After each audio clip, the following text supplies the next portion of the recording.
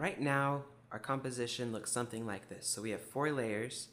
We have the sky, which I've adjusted a little bit. So if you want to make your image look like mine, just go to the sky. I stretched it inward a little bit. You can compare it to the original smart object. I stretched it in a little bit and I stretched it up and down a little bit. Then we have Krista driving, which is already masked out. We have Krista outside, which includes this field and the rest of the car. And then we have the curves adjustment layer that we applied to the field by Krista. There's a little, hmm. I think I missed an area on my layer mask, so I'll, I'll click on my layer mask. Yeah, for some reason, I had a little black dot in there, and I could see it on here. Okay, well, now we're ready to start kind of fine tuning this image. What I'm gonna do is I'm gonna add some adjustments to each of the layers and make it look more like one continuous image that was in one location. Because right now the exposures are slightly different. The sky doesn't really match. These hills don't really match. And this border, now, because I brought the sky up a little bit and the hills are now showing back here, the border doesn't look good. So I'm going to show you a trick to fix that. Um, let's start with that. So what I'll do is I'll disable this curves adjustment. And then I want to try to make this back area where we see this shadow back here match a little bit better. So I'm going to lighten that up with the dodge tool. So let's control J to copy and paste our layer. I'll disable the lower layer no, you know what I'll do is I'll just disable this upper layer. We'll save this in case I want to kind of start over. When you dodge and burn directly onto a layer or do any changes directly onto a layer, remember that's destructive editing. And so I usually make a copy of my original layer and then I'll delete it when I'm sure that I like the changes I've made. But if I do something awful and I, I just want to start over, I'll have that original layer saved. So I'll disable this copy that I've made. I'll work on the original layer, but I have that copy just in case. So what I'm gonna do is I'm gonna go to my dodge tool. And remember, dodge lightens. So I'm going to bring my brush size up a little bit. Up here we have our tool controls. I can target whatever range I want. In this case, it's the shadows that I want to lighten, so I'll make sure it's set to shadows. I'll bring the exposure down a little bit. This just um, determines how strong the dodge tool is as I brush. And I'll just start brushing over this. I'll, let's see, I'll go in here, bring my brush down. I'm gonna try to lighten that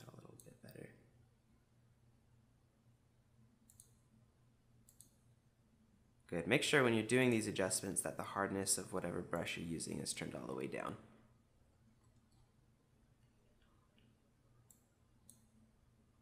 If I paint above here, above the border of this layer, it doesn't matter because if I turn off these layers, you can see there's nothing above it. And because I'm painting or dodging on this layer, the changes won't affect like the sky, for example, behind it. I can just keep going like that. I'm gonna bring this up a little bit too. And if you have the exposure of the dodge tool set down, it allows you to kind of go over a few times, but it won't be too intense. And you can make it more intense of an effect if you need to. But usually with this type of thing, less is more.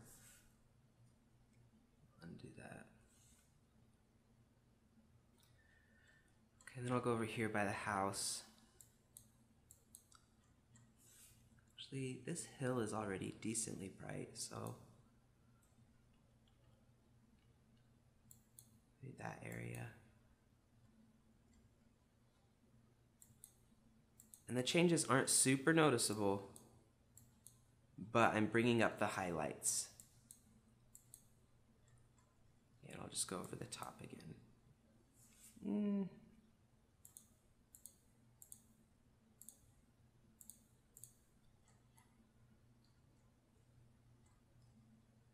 Okay. I'll bring my brush size down over here and just try to get this area. This image of Krista is on the same layer we're working on, so I just have to go around her down here. But if I bring my brush size down, it should be fine. Because I'm using this tool at such a low exposure value, if I did kind of go over on Krista a little bit, it's not super noticeable. And I'm targeting my shadows. And because most of her is more midtones and highlights over here, it doesn't really make a huge difference if I overlap a little bit on accident. Okay, so yeah, this is looking better. I'll bring this up a little bit, this area a little bit.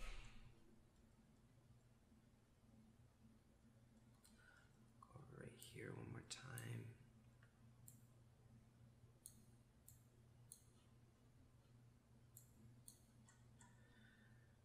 Hmm, I might have overdone it. So I'll undo. Control Alt Z to undo.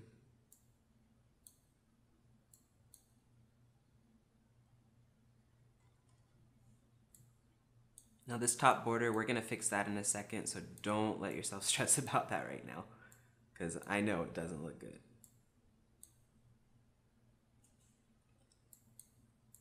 Okay, I'm happy with that. It's blending a little bit better now.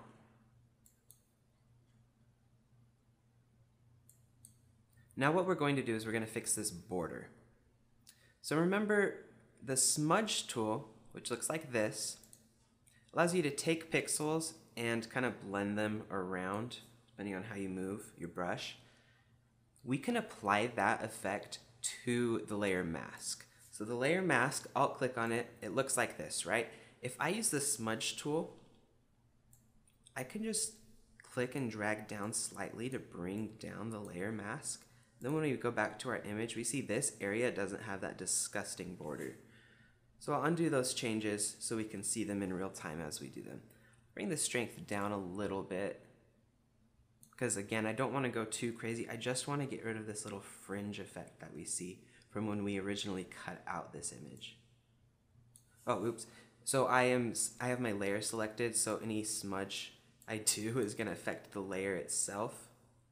Don't want to do that, so make sure you have the layer mask selected. Now bring it down just a touch.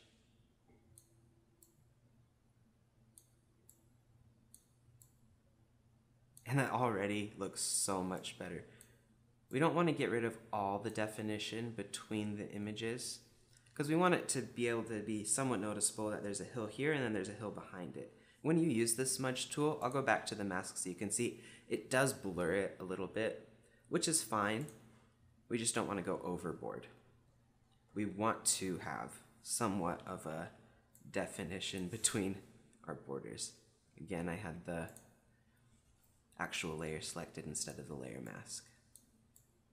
And just go until you get rid of that haze. This little trick can be super useful. I brought the arm down a little bit, so I'll try to bring that back up. Uh, yeah, we're gonna have to fix this arm anyway in a minute, so we won't focus on that right now. Just make sure the hills are good. So let's compare. I have right here the area that I've adjusted, and then over here is the area I haven't gotten to yet. If we compare it to the original layer that we saved, you can see the changes that have taken place it's already making a huge difference. This is much more believable than this. Okay, great, so let's keep going. You can see that I get really close in on the image. Sometimes it's easy to get carried away with detail. You just kind of have to know when to quit sometimes, but for a first pass, I let myself get in here just to make sure I'm doing everything right. Because there are these little areas, like you see I was just working here, where I really needed to zoom in and get super close to make sure I was not over or underdoing it, but that I was getting rid of the fringe completely. So just quickly do the rest of this. The areas where it's more smooth is a lot easier. If you don't have a graphics tablet, I'm just using my mouse right now and you can see it's working just fine. If you don't have a tablet to use a pen and have those more precise hand controlled movements, lowering the strength of your tools will usually help because it allows you to, instead of in one motion getting what you want, to take a few passes at it or a few clicks with less precision, but you still can get the effect you want. Now let's look at that hill. That looks great right here. I think I want to bring this down a little more. Okay, so that looks so much better. We see that there is a hill in front and then a hill behind, but they look like they belong in the same place. As if I just pointed the camera and shot these two things. In composite photography, that's one of the most important things. Just have it be believable and have nothing distract from the image. This obviously isn't the most important part of the picture. It's not going to be the main focus, but I want it to look good so that it doesn't take away from the main focus. And I'm not worrying about this area over here because I think after the tractor, I'm to crop it. So uh, yeah, I'm not, I'm not worried about that house or the rest of this. All right, the next thing I want to do is make this sky look a little better. Within the image, it looks just a little too dark. She wouldn't be this bright if the sky was that dark. So I'm to lighten it quite a bit. I'm to change the hue to make it a little more of a baby blue because that's what it looked like in person when I was taking this picture and it was awesome. So I want to recreate that look here. You can also see that I am a moron and didn't clean my camera sensor before I went out and shot these images. It doesn't matter too much if you're shooting something more normal, but if you're shooting a bright sky, you will see every little fleck on there. So we'll have to clean that up. So let's go ahead and do that now.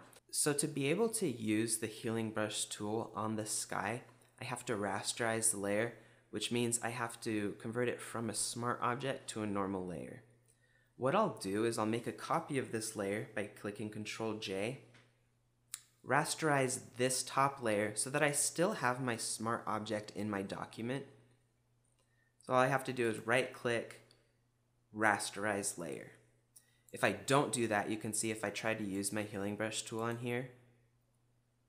Um, oh, I want to use my healing brush, or my spot healing brush tool, because it'll do it automatically. Remember the healing brush tool, you have to define a source where it will clone from spot healing brush tool, you click and it will look at the surrounding pixels and try to make a correction where you clicked. If I tried to click, it'll say smart object must be rasterized before proceeding. So I'll click OK. It'll rasterize my smart object and now this layer doesn't have the little symbol, meaning it's a smart object and it's just a normal image layer now. So I'll click here. Just try to get rid of these specks real quick. If I zoom out, I can see really obviously where they are. You can see that it does a really good job of doing this automatically. I don't have to get too detailed because as I mentioned before, we're gonna blur the sky a little bit. You can see, if I zoom in here, you can see how pixelated the sky is compared to her. It looks kind of like there's grain on it. So we'll blur it a little bit so it'll match the rest of the picture better. Some of the dots kind of blend in and just look like darker areas of cloud, which is convenient. Remember that brain will often see things as it's presented instead of what actually is taking place. If I looked at this cloud and there was a darker area, I would assume that just was part of the cloud in an area that was darker instead of an error on my image sensor. Okay, so I think this looks good. Now we can compare before and after, especially right up here.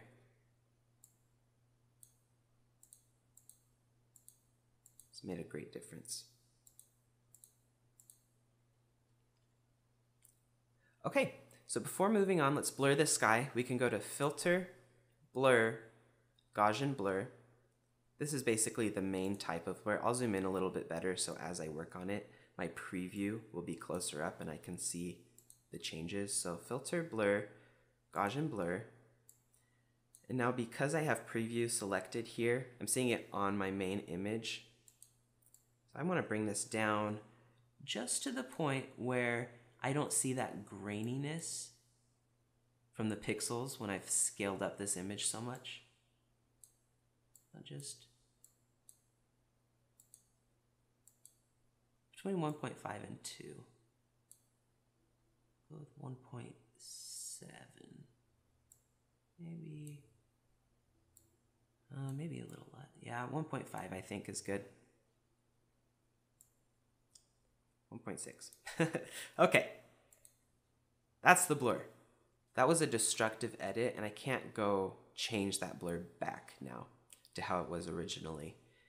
With smart objects, you can add filters and adjust them later on. So if I went filter blur, so I have my smart object selected, and I went to filter blur, Gaussian blur, we'll do a super obvious one. Hit OK. Now it shows up as a smart filter on my smart object, which I can turn on and off.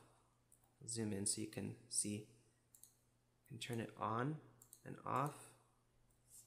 I'll undo all that because we don't want to adjust the smart object layer. We want to adjust the rasterized layer that we've already been able to use the healing brush on. This is looking great. Next step is to lighten the sky. So I will add an adjustment. It will be a curve. Curve adjustment allows you to take specific tones within your image. So here are my shadows, highlights, and midtones. And make localized adjustments there. So I want to bring, in general, everything up a little brighter. Yeah, somewhere in here where it's not too washed out. And I'm still seeing all that detail I've preserved in my cloud image. I think that looks good. Okay, now my sky is so much brighter and happier, and it just makes sense. now I've lightened up this hill back here quite a bit, and it's looking a little less realistic now. So what I'll do is, with my adjustment layer layer mask, I'll click that, click on my paintbrush, and lower the opacity of my paintbrush. So I'm not painting at full force, but now when I go here, I can paint out, oh, I have to choose black to paint it out. Paint out some of the effect and it will darken the hill a little bit more. And it can be pretty subtle. I'll have the bottom areas of the hill set to be a little darker. So now I can turn on and off that layer mask by shift and clicking on it. You can see I've darkened that hill. Now it matches this field in front of it a little bit better but it's still brighter in general and a little happier. Okay, now I want to adjust the hue of my sky because I want it to look a little more baby blue. So all I have to do is go to adjustments, hue saturation. I'll bring the hue this way a little bit. You can see as I change it, it changes the color of my layer. So I just want to bring it this way a little bit. When I make changes up here, I can toggle on and off the visibility of the adjustment layer to compare the changes. So you can see it's pretty subtle. I'm just slightly changing the color of the sky to be more baby blue. And now what I want to do is I want to bring up the vibrance. So saturation and vibrance do the same thing. They'll both add saturation to your image, but if you use the vibrance adjustment layer, you have both options. If I bring up the saturation to 100, you can see how washed out it is. If I bring the saturation back down and I bring the vibrance up, they're similar, but the vibrance doesn't allow the image to become as washed out. So I'll just bring it up to like 60. Now that is a sky. Look at that. That's a that's the place I want to go to. Okay. So I think those are the only adjustments I'll make to this sky background. What I'll do now is I'll shift, so I have the top layer of everything that's affecting my sky. Select that, shift click to the bottom layer, click the new group icon, and now it'll put those in a little group on its own. Call that sky. Good, and now my sky as a whole is all just as one group. Now let's take a look at Krista inside this car. I want it to look a little darker in here because the the point of the image is that like this is happy, this is a little more dull. So I want to exaggerate that a little bit. So what I'll do is I'll go to this layer, Krista driving, and add a curve adjustment to bring down the colors a little bit. You can see in curves, if I move one of these end points, I can adjust the lights and the darks more dramatically. So I'll bring the darks down to about there. And then I'll just make this a little more of a curve. All right, so now it's darker in here. What I wanna do next is add a levels adjustment layer to really make it look like she's behind glass. Usually if something's like in the far distance of your image and there's a lot of like air, dust, haze between it, the contrast of that area will be a little less and the black levels will be raised a little bit. So what I can do, the same thing applies to like someone behind glass to really show that there's something in between her and the camera. I'll add a levels layer. And levels is similar to curves. I can adjust the luminance values of the shadows, midtones, and highlights, but I can also adjust the output levels, which are my black point and white point. So right now the black value is at zero, which is fully black. If I bring it up a little bit, look at my picture,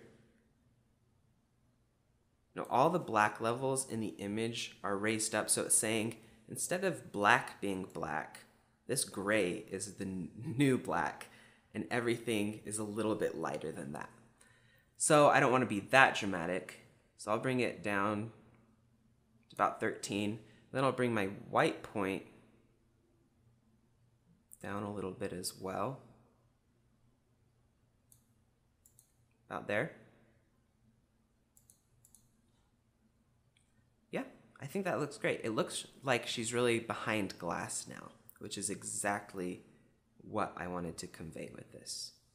Because I've added these adjustment layers to my image, the edge of the windshield right here is a little too dark and it's not matching the car as well like it did originally.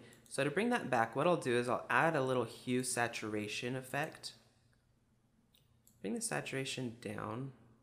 Remember, there, it's changing everything inside the car. I'll add a mask later so it just affects this border. Adjust the hue to make it look a little more blue. You can see that these changes are affecting everything under these adjustment layers. So what I'll do real quick is shift, click through all these, create a new group. I'll call it Krista Driving change the blend mode to normal. Pass through blend mode allows the effects within your group to exit the group and affect layers beneath it. Normal makes it so that the effects cannot leave the group folder. I need to add a little more saturation to this. So I'll just go to hue saturation and I can go back. I think I brought it down too much. Bring the lightness up a little bit. There we go. Now, now it looks a lot more like the car. I think that's what I needed to do. If I bring the lightness up and the saturation up, matches the color of that car a little better. Okay. Now because I don't want to affect everything inside of here, I'll add a layer mask to this effect. By going to my paintbrush, painting inside the areas of the windshield that I don't want this to affect. Right, I'll, I'll click on the layer mask to make sure that I can fill in all of these little areas that I missed. Over to this edge, doesn't matter as much because again, that area is gonna be cropped out. I don't usually crop until the last step, but I keep in mind what the composition of my image will be. So that looks good. As you can see, as I'm adding these adjustment layers, applying like the normal as opposed to the pass-through blend mode, and then adding masks onto the adjustment layers themselves, allows me to fine tune these adjustments that I'm making. instead of just adding one adjustment to the whole image. Because different areas of the image need different things, right? I'll fix this a little bit. Looks like I missed the edge here. As you add adjustments, keep in mind what you want your image to convey, and usually that'll help you know when to quit or when to go even further with the adjustments you're making. All right, so I like that mask. And now this border of the windshield matches a little bit better to the outside. You can see that as we add these adjustment layers, we're able to apply what we've learned so far to make these adjustments very specific because not all areas of the image need the same adjustments, um, especially if they're a composite, you know, and there are three different images. We need to make very local adjustments to different areas. So like right here, I was able to match the color better, but keep the inside the same using a layer mask on my adjustment layer. I was able to have these adjustments without having to apply them to this image, have them only show in this group by changing the blend mode of the group from pass through to normal. So these tricks that we're learning to control exactly what we're doing with our image are really going to come in handy, especially as you start working on bigger and more complex composites. You can make such specific adjustments to such detailed or small areas of your image, and it really lets you have full control of what you're doing in Photoshop.